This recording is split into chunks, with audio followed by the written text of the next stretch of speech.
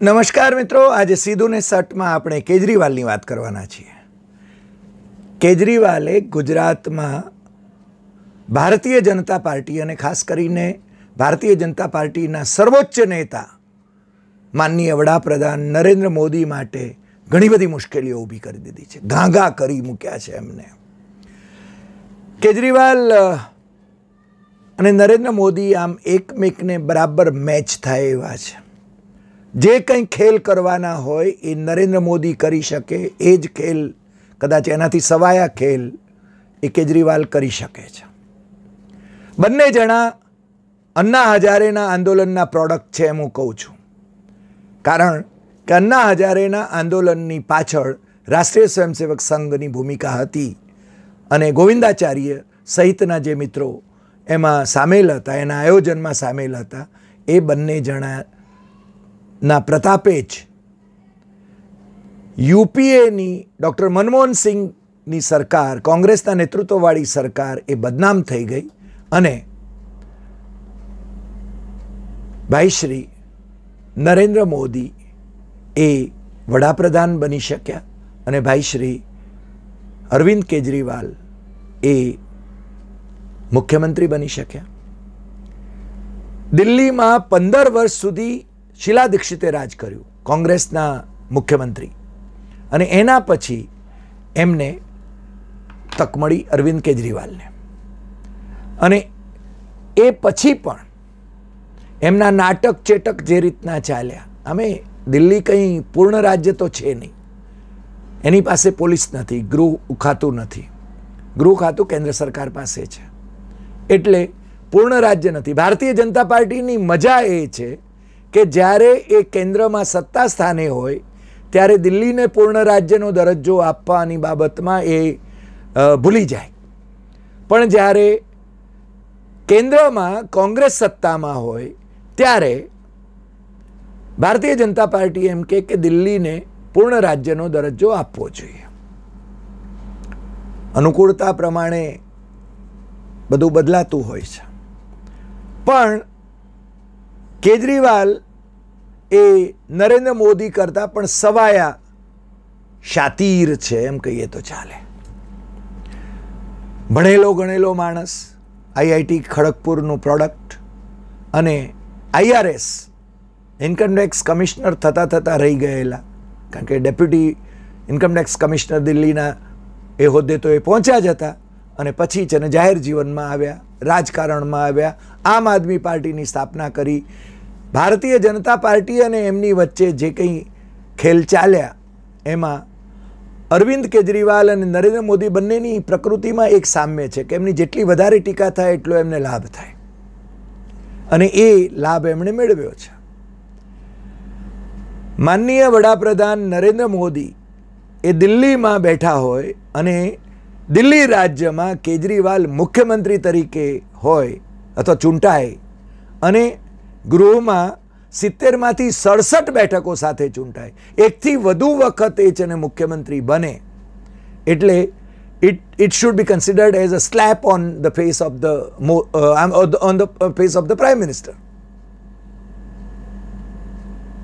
દિલ્હીની પ્રજાને એમણે જે સ્વપ્ન દેખાડ્યા, અથવા તો એ છે ને એ સ્વપ્ન એમણે સાકાર કરીને બતાવ્યા, એવું જ સ્વપ્ન દેખાડવામાં નરેન્દ્ર મોદીનું કહી શકાય. એટલે બંને they are match for each other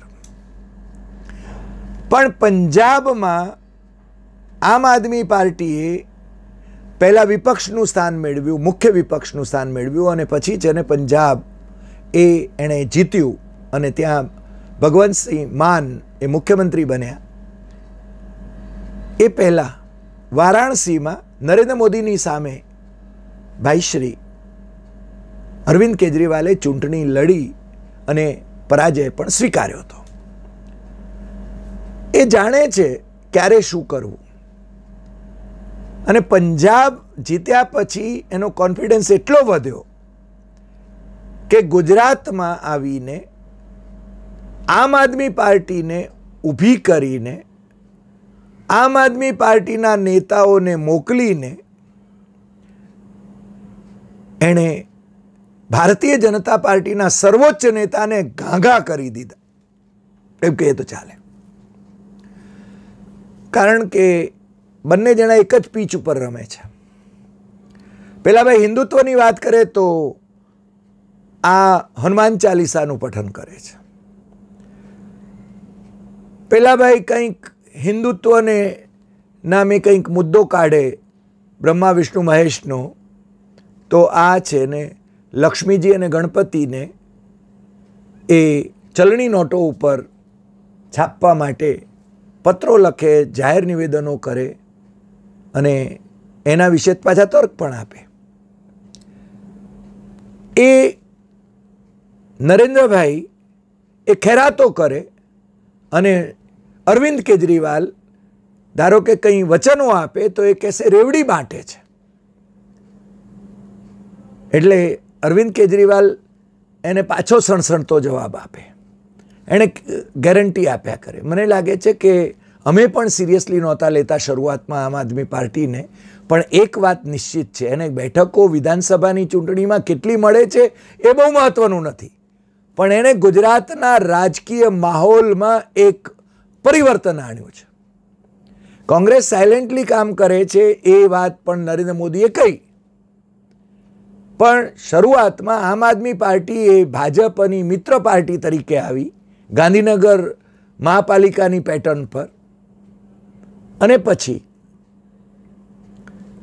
એમને એમ લાગ્યું કે વિધાનસભામાં પણ આપણને મદદ કરશે કારણ કે ડિસેમ્બર બે હજાર સત્તરમાં નવ્વાણું બેઠકો સુધી પહોંચી ગયા હતા. તમને ખ્યાલ હશે કે બે હજાર બેમાં બેથી, બે હજાર બેથી નરેન્દ્ર મોદીના નેતૃત્વમાં જેટલી જેટલી વિધાનસભાની ચૂંટણીઓ ગુજરાતમાં લડાઈ, આજ દિવસ સુધી, એટલે કે સત્તર સુધી, ડિસેમ્બર બે હજાર સત્તર સુધીની, એમાં એમનો ગ્રાફ નીચે ગયો, બેઠકોનો. તોડફોડ કરીને ધારાસભ્યોને જેને રાજીનામા અપાવીને, પોતાનામાં ભેળવીને, ફરીને ટિકિટો આપીને, એ સભ્ય સંખ્યા વધારે, એ જુદી વાત છે. પણ વિધાનસભાની ચૂંટણીમાં નરેન્દ્ર મોદીના નેતૃત્વવાળી ભારતીય જનતા પાર્ટીનો ગ્રાફ નીચે ગયો છે. ઓફકોર્સ મે બે હજાર ચૌદમાં એ વડાપ્રધાન થઈ શક્યા. બે હજાર ઓગણીસમાં ફરીને વડાપ્રધાન થઈ શક્યા. અને વિશ્વના સૌથી લોકપ્રિય નેતા તરીકેની ગાજવીજ કરતા નરેન્દ્ર મોદીની નિંદર હરામ કરી દીધી છે બે બાબતોએ. એક, અરવિંદ કેજરીવાલના નાટક ચેટકે અને રાજકારણ તો કપટ લીલા છે, એટલે કપટ લીલા કહો તો કપટ લીલા. અને બીજી વાત, રાહુલ ગાંધીની પદયાત્રાએ. એને જે રિસ્પોન્સ મળી રહ્યો છે, એટલે ભાઈ શ્રી નરેન્દ્ર મોદી ગાંગા છે. ગુજરાતની વિધાનસભાની ચૂંટણી જીતવી અને ભાજપની સરકાર બનાવવી એ નરેન્દ્ર મોદી માટે અનિવાર્ય છે. પરંતુ ગઈ વખતે નવ્વાણું બેઠકોએ પહોંચેલી ભારતીય જનતા પાર્ટીની બેઠકો જો આ વખતે ઘટે, તો નરેન્દ્ર મોદીનું નેતૃત્વ રાષ્ટ્રીય કક્ષાએ કેટલું નબળું પડી શકે અને એની જ પાર્ટીના નેતાઓ ચડી બેસે, એ ડર અત્યારે એમને સતાવી રહ્યો છે. અને એટલે વારંવાર આવી રહ્યા છે. ઉદ્ઘાટનો કરી રહ્યા છે, શિલાન્યાસો કરી રહ્યા છે, જાહેરાતો કરી રહ્યા છે. અરવિંદ કેજરીવાલ જાહેરાત કરે તો રેવડી બાટી. નરેન્દ્રભાઈ જાહેરાત કરે તો વાહ ભાઈ વાહ. આ ટુ સેટ્સ ઓફ મેજર્સની વાત છે. અને એટલે જ છેલ્લે છેલ્લે જ્યારે ભાઈ શ્રી અરવિંદ કેજરીવાલે લક્ષ્મીજી અને ગણપતિજીની વાત કરી, ત્યારે અમને છે ને પેલો ઇન્ડોનેશિયાની ચલણી નોટ પર એમના પહેલાં પ્રેસિડેન્ટ રાષ્ટ્રપતિ સુકર્ણો એમની બાજુમાં, આ બાજુ ગણપતિજીનું ચિત્ર અને પાછળના ભાગમાં ક્લાસરૂમ છે. એ તમને ચલણી નોટ પર જોવા મળે છે. અરવિંદ કેજરીવાલે તો કતકડા કરવાના છે. પણ અરવિંદ કેજરીવાલે એ બાબત બહુ સ્પષ્ટ કરી કે એજન્ડા એ સેટ કરે છે. રાહુલ ગાંધીની પદયાત્રા પછી એજન્ડા એ સેટ કરે છે. હજુ સુધી કોઈ એવા મુદ્દા નથી મળ્યા કે જેથી ભારતીય જનતા પાર્ટી એની જ એને ટીકા કરે. ટીકા કરે એટલું બુમરેંગ થાય છે. જેટલી ટીકા કરીએ એટલું. અને વિધાનસભાની ચૂંટણીમાં જો એક બેઠક પણ ઘટી, તો રાષ્ટ્રીય કક્ષાએ ભાઈના નેતૃત્વની એ નબળાઈ ગણાશે. એ એમને ખબર છે ને બે હજાર ચોવીસમાં શું થઈ શકે એ પણ એમને ખબર છે. હિમાચલમાં ભારતીય જનતા પાર્ટીના આંતરકલહને કારણે કોંગ્રેસ જીતી શકે એવી સ્થિતિમાં છે. અને જો એ હિમાચલ જાય અને જો ગુજરાતમાં બેઠકો ઓછી થાય, મારી તોડીને સરકાર તો બનાવી લે, પણ બેઠકો ઓછી થાય, તો એનો યશ જો કોઈ મેળવી શકે તો એ કેજરીવાલ મેળવી શકે. પણ કેજરીવાલ આ બધા ગતકડા જે કરે છે, ગતકડા કરવામાં એ ઉસ્તાદી ધરાવે છે. અને ઇઝ મેચ ફોર મોદી. એ રીતે આપણે કહીએ, પણ ઇન્ડોનેશિયાની જે અધકચરી વાતો, ધારો કે ઇસ્લામિક કન્ટ્રી છે, પણ ત્યાં લગ્ન હોય, બે, એટલે મુસ્લિમ પરિવારમાં લગ્ન હોય ત્યારે ગણપતિની મૂર્તિ મૂકવામાં આવે છે. બાલી ત્યાંનો હિન્દુ પ્રદેશ છે. ત્યાં કોઈ મંદિરનો જીર્ણોદ્ધાર હોય તો મુસ્લિમ મિનિસ્ટર પણ છે ને ત્યાં પૂજામાં બેસે છે. સુકર્ણોની એક દીકરી, સુકર્ણો મુસ્લિમ મુસ્લિમ રાષ્ટ્રપતિ અને ઇન્ડોનેશિયા એ દુનિયાનો સૌથી મોટો ઇસ્લામિક કન્ટ્રી એ એના રાષ્ટ્રપતિ સુકર્ણો, આમ તો વિવેકાનંદ, એમને બહુ જ પસંદ હતા. વિવેકાનંદની ફિલોસોફી વાંચવા માટે તો બીજું પટનાયકને એમણે ખાસ વિનંતી કરી હતી કે મને પુસ્તકો મોકલાવો. જેલમાં હતા ત્યારે. તો એ સુકર્ણો, એમની એક દીકરી તો પાછી રાષ્ટ્રપતિ થઈ હતી અને અત્યારે પણ જે પક્ષ સત્તામાં છે, એમની દીકરીનો જ પક્ષ છે. પણ બીજી દીકરી એણે હિન્દુ ધર્મ અંગીકાર કર્યો છે. પણ આપણે ત્યાં જે રાજકારણની અંદર આ ધાર્મિક બાબતોને લઈને જે ગતકડા કરવામાં આવી રહ્યા હતા, અથવા જે સ્વપ્ન બતાવવામાં આવી રહ્યા હતા, નરેન્દ્રભાઈ જે સ્વપ્ન બતાવે છે, તો કેજરીવાલ સવાયા સ્વપ્ન બતાવે છે. અને એ કહે છે કે અમે તો અમલ કરીને બતાવીએ છીએ. ચાલો, તમે બોલો. વિકાસ સાધ્યો તો વિકાસ બતાવો. સ્માર્ટ સ્કૂલ તો બતાવો. હોસ્પિટલો તો બતાવો. અમે તો કર્યું. પંજાબની અંદર એમણે જે એજન્ડા રજૂ કર્યો હતો, અથવા સંકલ્પપત્ર, અથવા તો એમનો જે મેનિફેસ્ટો હતો, એ પ્રમાણે અમલ કરી રહ્યા છે. એ ભીન્સમાં લઈ રહ્યા છે. એટલે મારી દ્રષ્ટિએ ભાઈશ્રી ઇન્ડોનેશિયાની વાત એ એને પૂરતી અમલમાં ન લાવે તો પણ અત્યારે ગુજરાતમાં કેજરીવાલ એ નરેન્દ્ર મોદીની નિંદર હરામ કરી રહ્યા છે, એ તો હકીકત છે. અને બીજું કે આ વખતે ભારતીય જનતા પાર્ટીની ટિકિટો માટેની જે સેન્સ લેવાય છે, એની અંદર પણ જે દ્રશ્યો સર્જાયા, એ ભવિષ્યમાં અસંતુષ્ટો પક્ષ પલટા કરે એવા સંજોગો પણ આપણને જોવા મળે છે. કોંગ્રેસમાં પણ એવું થશે. કારણ કે હવે છે ને, પેલા વસ્ત્ર બદલતા હોય એ રીતે પાર્ટીઓ બદલવાની પરંપરા સ્થાપિત થઈ ચૂકી છે. ભારતીય જનતા પાર્ટીએ પરંપરા વધુ મજબૂત કરી હતી અને હવે તો શંકરસિંહ વાઘેલાના પુત્ર મહેન્દ્રસિંહ એ ભારતીય જનતા પાર્ટીમાં હતા અને ભારતીય જનતા પાર્ટીમાંથી હવે કોંગ્રેસમાં ગયા છે. શંકરસિંહ પણ કોંગ્રેસમાં જવા માટે બહુ જ ઉત્સુક છે. પણ દસ જનપથ એમને મંજૂરી આપે ત્યારે. આવા સંજોગોમાં ગુજરાતમાં રાજકારણ કેવા વળાંક લેશે એ કહેવું મુશ્કેલ છે. મુદ્દાઓ કોઈ ક્લિક નથી થતા. જનરલ ડાયર તરીકે અમિત શાહને જેણે સંબોધન કર્યું હતું એ ભાઈ શ્રી હાર્દિક પટેલ ક્યારેક પાટીદાર અનામત આંદોલનનો હીરો હતો.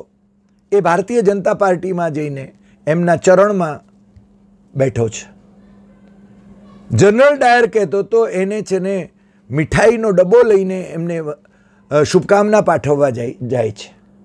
શું થશે એનું ખબર નથી. પણ એની જે પાસ હતી અથવા તો એના જે સાથીઓ હતા, અલ્પેશ કથિરિયા, નિખિલ સવાણી, આ બધા આમ આદમી પાર્ટીમાં જ્યારે જોડાઈ રહ્યા છે અને સૌરાષ્ટ્રમાં અને સુરતમાં જે રીતે આમ આદમી પાર્ટીનો પ્રભાવ અને પાટીદાર સમાજમાં એનો પ્રભાવ જે રીતે વધી રહ્યો છે, એ નિશ્ચિતપણે ભારતીય જનતા પાર્ટી માટે ચિંતાનો વિષય છે ને એટલા માટે જ નરેશ પટેલ સાથે પ્રાઇમ મિનિસ્ટરની મિટિંગ યોજવી પડી. એ માત્ર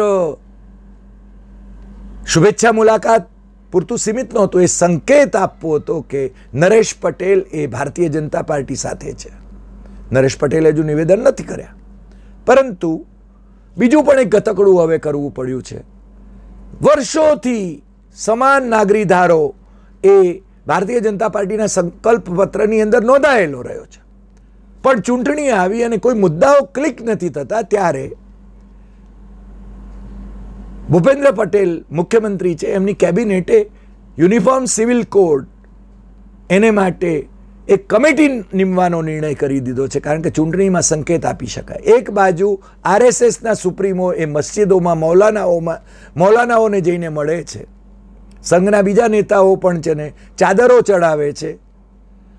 અને બીજી બાજુ આ યુનિફોર્મ સિવિલ કોડ લાવવાની વાત કરીને હિન્દુ વોટ બેંકને કોન્સોલિડેટ કરવાની કોશિશ છે. શું થશે ખબર નથી. મુદ્દાઓ પકડાતા નથી. ઉમેદવારો નક્કી થાય, પછી ચિત્ર કેવું ઉપસશે એની વાત આપણને સ્પષ્ટ કરવાનું મળશે. ત્યાં સુધી આપણે એના વિશે એટલું જ કહી શકીએ કે કેજરીવાલ અને Modi they are match for each other બંને જણા સ્વપ્નોના સોદાગર છે. અને કોઈ ખેરાત કરે છે તો કોઈ રેવડી બાટે છે. કોંગ્રેસ શું કરે છે, એની હવે આપણને પ્રતીક્ષા છે.